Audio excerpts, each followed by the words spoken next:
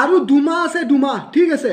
ছেপ্টেম্বৰ মাহত অনুষ্ঠিত হ'ব চাৰে বাৰ হাজাৰ চৰকাৰী চাকৰিৰ নিযুক্তি প্ৰক্ৰিয়া মানে পৰীক্ষা ষ্টাৰ্ট পৰীক্ষা চৰকাৰে এ পি এছ চি ষ্টাইলত পাতে পৰীক্ষা চৰকাৰে ইউ পি এছ চি ষ্টাইলত পাতে পৰীক্ষা চৰকাৰে আই বি বি এছত পাতে এছ এছ চিত পাতে যি পাতে পাতক না। বৰ্তমান ছ'চিয়েল মিডিয়াখন আপোনালোকে খুলিব নোৱাৰে। আধা সংখ্যক মানুহে ছ'চিয়েল মিডিয়াখনত একদম তাৰমানে কি হাল্লা হুলস্থুল কৰি আছে যে থাৰ্ড গ্ৰেড বা ফ'ৰ্থ গ্ৰেড চাকৰি এটাৰ কাৰণে নিযুক্তি এ পি এছ চি ষ্টাইলত পাতে নেকি? যদিহে যিবিলাক কেণ্ডিডেটে সঁচাকৈ সঁচাকৈ কষ্ট কৰি আছে এটা চৰকাৰী চাকৰিৰ কাৰণে আৰু যাৰ পৰা হাণ্ড্ৰেড পাৰ্চেণ্ট কনফিডেঞ্চ আছে বা চৰকাৰে যি ষ্টাইলত কি পৰীক্ষা নাপাতক কিয় চাৰে বাৰ হাজাৰ চাকৰিৰ ভিতৰত এটা মোক চাকৰি লাগে। সেইজন কেণ্ডিডেটৰ কেৱল এটাই ধান্দা যে চাৰে বাৰ হাজাৰ চাকৰিত মোক চাকৰি লাগে আৰু তেখেতসকলে এনেভাৱে কনফিডেঞ্চ এনেভাৱে কনফিডেঞ্চত পৰিছে ন যে তেখেতসকলৰ চাকৰি হ'বই। কিন্তু হাল্লা হুলস্থুল কোনে কৰি আছে? যাৰ পঢ়া হোৱা যাৰ পঢ়া হোৱা নাই আৰু এইবিলাক হাল্লা হুলস্থুল কৰি পেলাই পৰীক্ষাটো আৰু অলপ দূৰ পিছুৱাই যায় নেকি?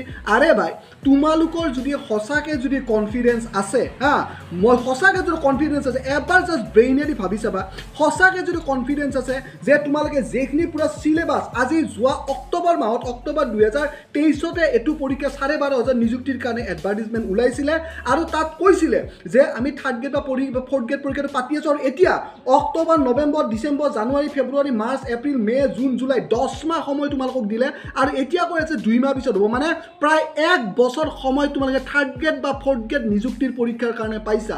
এতিয়া কথাটো হৈছে সেইটো কনফিডেঞ্চ কিয় নাই? যে আজি যে এ পি এছ চি ষ্টাইলত পাতিবনে এছ এছ চি ষ্টাইলত পাতিবনে ইউ পি এছ চি ষ্টাইলত পাতিব সেইটো এটা শিক্ষা বিভাগ আছে যিখন ইউনিভাৰ্চিটি বা যিখন বৰ্ডক সেই পৰীক্ষাটো পাতিব দিব সিহঁতে জানে ন তাতে বিজ্ঞ বিজ্ঞ মানুহ বহি আছে। ইয়াতে ফেচবুকখনত হুলস্থুল কৰি পেলাই এইটো যে শৈক্ষিক যিটো এনভাইৰমেণ্ট আছে সেইটো বেয়া কৰিব নালাগে। আজি মই বহুতো ফেচবুকত চাইছোঁ ফেচবুকত একদম মানে কিবা হৈ গৈছে। বহুতো ল'ৰা ল'ৰা ছোৱালী এটা হুলস্থুল কৰি আছে। ঠিক আছে? যে আমাক এ পি এছ চি ষ্টাইলত বাৰু ফ'ৰ্থ গ্ৰেড চাকৰি পাতে নেকি ইউ পি এছ চি ষ্টাইলত চৰি থাৰ্ড গ্ৰেড চাকৰি বাৰু এ পি এছ চি ষ্টাইলত পাতে নেকি?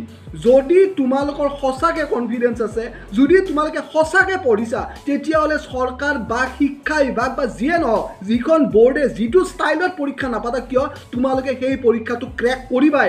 কাৰণ তোমালোকে পঢ়িছা তোমালোকে প্ৰিপেয়াৰ কৰিছা। আৰু যদি তোমালোকে পঢ়া নাই তোমালোকে যদি পঢ়া নাই সেইটো এ পি এছ চি ষ্টাইলতে নাপাতা কিয়? যদি কেৱল পঞ্চাছ নম্বৰৰ পৰীক্ষা পাতে সেই পৰীক্ষাত তোমালোকে পাছ কৰিব নোৱাৰিবা। গতিকে এইবিলাক হাল্লা হুলস্থুল কৰি আছে যিবিলাকে পঢ়া নাই। আৰু যিবিলাক আৰু যিবিলাকে পঢ়ি আছে একচুৱেলি কেণ্ডিডেট হৈছে লাখত কিন্তু চাকৰি কিমান আছে? চাৰে বাৰ হাজাৰ। এই চাৰে বাৰ হাজাৰ চাকৰিত যদি লাখ কেণ্ডিডেটৰ ভিতৰত তোমালোকে পাব লাগে কাৰোবাৰ জানো ইমান সময় থাকিব নেকি? যে কি ষ্টাইলত পৰীক্ষা পাতি আছে? তাৰ অনলি ফ'কাছটো পঢ়া যে আজি মই এইটো চেপ্টাৰ কমপ্লিট কৰিব লাগে আজি মই তমুকটো চেপ্টাৰ কমপ্লিট কৰিব লাগে। তাৰ খালি সেইটো। এই আধা মানুহে এই আধা মানুহ যিবিলাকে হাই হুলস্থুল কৰি আছে তেখেতৰ না কিবা পঢ়া হৈছে না কি? যাতে পৰীক্ষাটো আৰু অলপ দূৰ পিছুৱাই যাওক কিবা ঠিক আছে? পৰীক্ষা যি ষ্টাইলত নাপাতক কিয় পাতিব দিয়ক? আপোনালোকৰ মেইন কথা হৈছে চাৰে বাৰ হাজাৰ চাকৰিৰ ভিতৰত আপোনালোকক এটা পষ্ট লাগে সেইটো ধ্যান ৰাখক আৰু যাৰ কনফিডেঞ্চ আছে যোনে সঁচাকৈ পঢ়িছে তাৰ এইবিলাক হাই হুলস্থুল কৰাৰ সময় নাই। চৰকাৰে যি ষ্টাইলত পাতক ঠাণ্ডা এটাই যোনে চৰকাৰী চাকৰি এটা পাব বিচাৰে এবাৰ তাৰ খালি ঠাণ্ডা পঢ়া পঢ়া আৰু পঢ়া। হুলস্থুল বাদ দি বেছি দিন নাই কেৱল দুমাহ সময় আছে।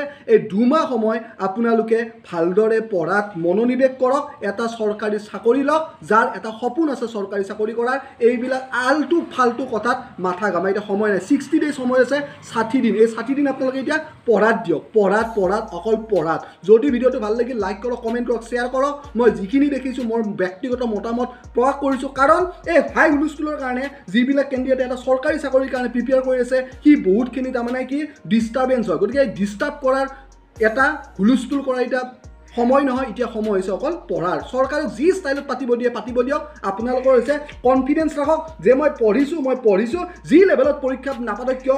মই ফালি দিম পৰীক্ষা একদম ফালি দিম আৰু মই এটা চৰকাৰী চাকৰি ল'মে। ধন্যবাদ জয়া অসম। যদি ভিডিঅ'টো ভাল লাগে লাইক কৰক কমেণ্ট কৰক শ্বেয়াৰ কৰক আৰু শেষত ৰিয়েলিষ্টিক আছাম পেজটো ফ'ল' কৰি দিয়াৰ কাৰণে একেবাৰে নাপাহৰিব। ধন্যবাদ জয়া অসম।